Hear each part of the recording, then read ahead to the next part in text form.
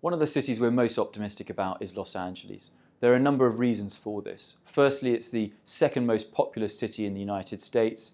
Uh, there is a very diverse economy supporting that city and the reason for people to move to and live there. There is also a very constrained planning environment, which really helps landlords increase rental income streams year after year. And then one of the more interesting trends that we're seeing at the moment is the battle for content that we're all witnessing uh, on our television screens. The likes of Netflix, Google, and Amazon are demanding far more space to enable them to deliver new programs to the television watchers around the world. And we've just seen Netflix take a very large pre-let of one of the development sites in West Hollywood and we think this trend is likely to continue and therefore rental income streams should continue to grow this year and into the future.